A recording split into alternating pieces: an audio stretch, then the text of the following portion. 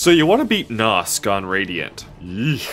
Let's squash that fucker. Nosk is a simple enemy, but their attacks can be quick and unpredictable. The Radiant version of this fight removes the cheesing platform, but that does very little in favor of the cantankerous bug. Jump and nail bounce over them as they run across the stage, but be wary of the center. Nosk will often stop at a dime here to perform other moves, so you may end up falling into them. For extra damage, use Shade Soul to double hit as they run past. The hardest move to avoid is when Nosk spews infected globules at you. These actually have a predictable trajectory, so if you stand about one dash distance away from Nosk, they will land around you safely. You can also Desolate Dive to avoid getting hit, but I like to hold on to my soul for damage if I can. Don't stay above Nosk for long, because they jump often and sometimes leap into the ceiling. To avoid the pustules that Nosk drops from the ceiling, take small steps forward as each falls. Sprint Master helps make spacing easier, and don't stay under where they land, or else Nosk will drop on top of you. Once you have a handle on these moves, Nosk turns into quite the pushover.